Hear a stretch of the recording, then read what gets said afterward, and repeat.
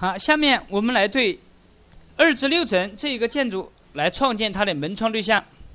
同样，我们现在针对下侧来创建门窗，怎么来创建？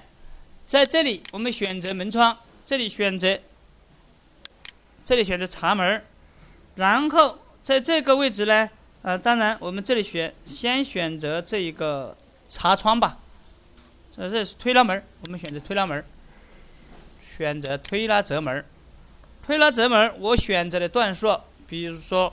根据它的宽度为一千八的话，我可以选择三段，OK。然后这个为推拉门儿，推拉门儿的话，我选择三段的为这种。根据要求，也可以对它进行调整，比如说这个对象，OK。然后这里我们选择强段，强段。嗯，这里呢，我们还是选择轴轴线。它的宽度这个位置为一千八，它的高度为二千二，好，其他不管。然后这里距离为五百，好，这个位置呢，我们在中间的这个位置，比如说，它个编号为自动编号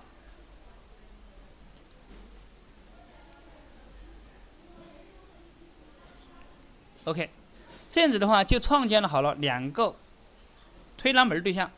幺八二二 M，OK。紧接着，我们这里选择，这里有一个图窗，这里你看，我们这里推拉门已经有了。这里是图窗对象的话，嗯，我们选择一个两段轴线之间，轴线之间它的宽度，这里当然它的编号我们还是选择自动编号，宽度这个位置为一千八。窗高度一千九，改为一千九百。窗台高，窗台高这里为六百。然后这里一个出挑长 A，我们输入为四百八十，四百八十。然后在指定的位置，我们这块创建一个图窗。这个图窗呢，我们是在两轴线之间。OK。然后这里一样的，啊幺八幺九，按这种方式。好，同样我们在在上层来创建这个窗窗对象，这个窗对象我们根据它的宽度来创建。这个窗呢，我们选择两开的，然后这个窗我们就为视线方式。这个窗它的宽度这里先为一千二。一千二的窗台的高度一千五，这个一千二，好，然后放在哪里呢？我们这个位置放在两轴线之间，比如说，OK，这里有了一千二的，再来，我们这里还有是一千五的，一千五的，一千五的在哪一段呢？是这一段，OK。然后在这里有一个 C 一一千五的，好，这里一段也是一千五的，OK。然后在这一段是九百，九百的话我们应该是在这里，OK。这样子的话就把上面这一部分窗推拉窗给给出来了。紧接着这里我们选择茶门，在茶门这里我们同样这里选择实。实木门儿，门儿的平开方式我们为这种方式，OK。然后茶门儿，我们这里选择这里有一个舵距，舵距的宽度这里为一百二十。然后茶门儿的宽度为九百，在指定的地方，在哪里来创建茶门呢？呃，我们在 C C 轴线上。C 轴线的这两个位置来创建，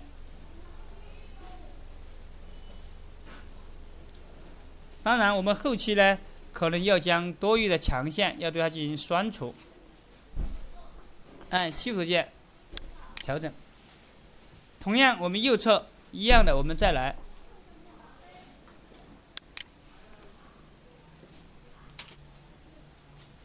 ，OK，这样子已经做好了。这是我们做好的这里几个门对象，当然后期呢，我们有可能要将这里指定的一些墙体对象给删除掉，比如说这段墙体，我们现在把它删除掉，不需要的。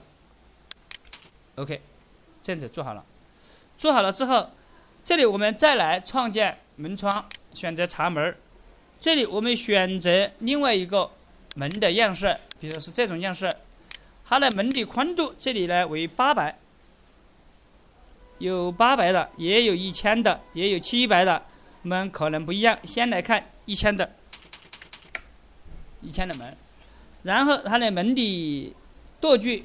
都是按照二百四来进行舵舵距的，好，在这个位置我们确定，OK。当然，这段墙体我们要把它取消，取消。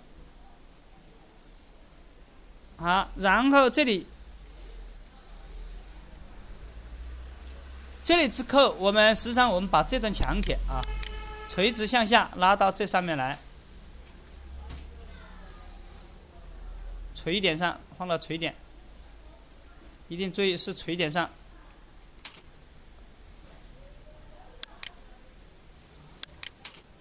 OK，当然这里呢一样的，我们再来创建。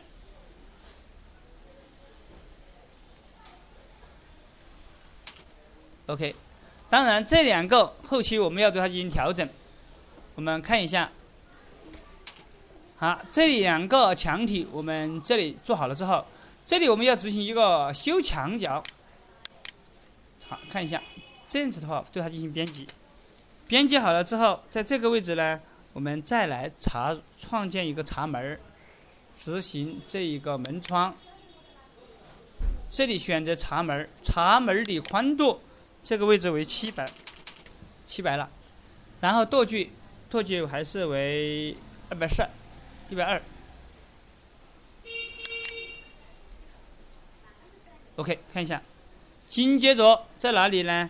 我们这里有两个门对象，有它的宽度为八百的这个位置。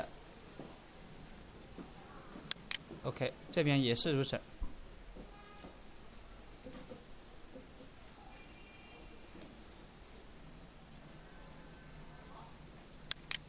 啊，当这个门这里墙体，我们边做边对它进行裁剪。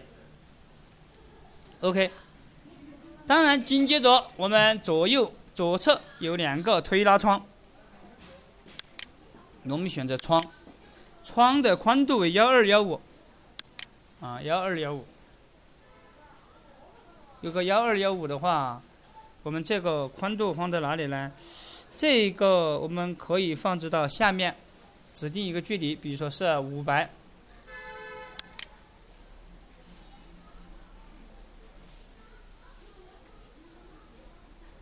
OK，然后下面是一个二千一百。二千一百的话，我应该是在这一段墙段之中。啊，这里呢我们放错了，取消，重新来做。这里是幺二幺五，应该是在这个位置，我们干脆把它置中吧。OK，然后这里是二千一。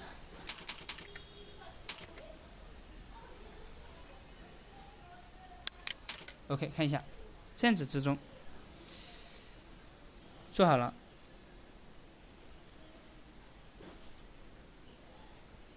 好，当然，如果这里这个推拉门这个参数，我如果要对它进行调整修改，双击两次，它的参数不够大，它的宽度门宽我改成三千，好，然后这里呢，我们自动编号调整，他问全部，我选择全部，看这个位置呢，呃，也就是我们重新来改一下，重新来做。干脆我们重新来做推拉门，我选择推拉门。推拉这一门的话，三千的话，我应该是三段，三段。这里是推拉门，应该是三段这种效果。然后之中宽度为三千，三千，高度为二千二，OK。然后放在这之中。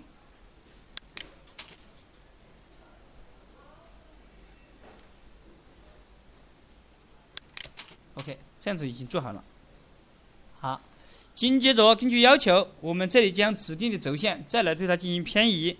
怎么来偏移呢？我选择这根轴线。啊，我们看一下这里的轴线好像无法选择。我们看一下这边，它都是可以选择的。我们看一下这个是否对这个图层轴线图层是否对它进行锁定？没有锁定。实际上我们现在选择这个轴线图层，选择，然后执行偏移命令，偏移距离为一千三百八十。啊，这里呢，我现在应该是将这根轴线，我选择应该是这根轴线，将其向上偏移多少呢？偏移是一千三百八十。OK，然后我这里呢，对它进行修剪、删除。那么右侧这边呢，我一样的。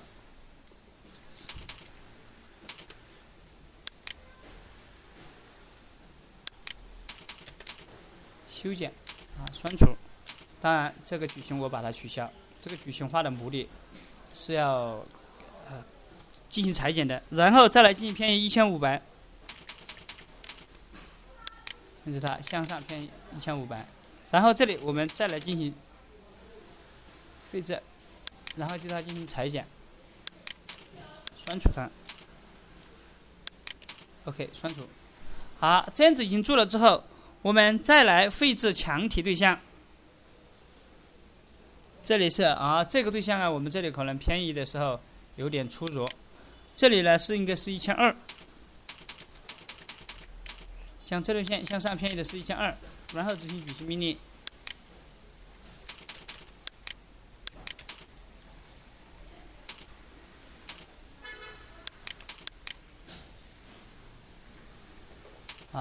这样子把它做了，做了之后，我们来绘制这一个墙体啊。然后，它这里呢，我们选它的高度为当前层高，砖墙左宽为一百二，右宽这个位置为零，为零。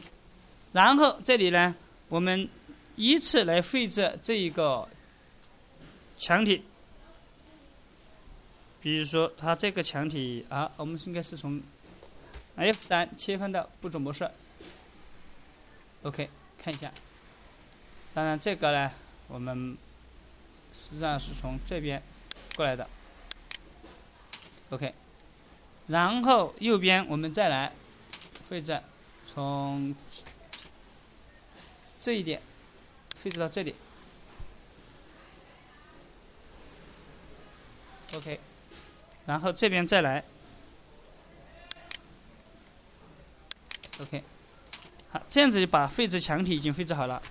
墙体绘制好了之后，紧接着在这里我们来开启一个洞口，从这个位置开启一个洞口，我们选择这个门窗，执行门窗命令。这里我们选择洞口，洞口这里呢，呃，洞宽为一千一百，洞高为二千七，洞高为二千七。然后这个编号我们为自动编号，当然距离呢。我们这里呢，选择这个距离为六百，六百，在哪里来制作呢？呃，我们在这一个幺五幺五啊这一段这里，OK，看一下已经有了这么一个洞。紧接着在这里呢，我们来创建一个推拉窗，这是一个茶门儿。茶门这里我们选择的是一个门宽，我们选择两扇门宽。推拉门两扇门宽的话，我们用哪种呢？呃，用这种都可以，这种样式。然后它的宽度这个位置为一千五，千五，高度这里为二千二，不管它。然后在这两段墙线之间。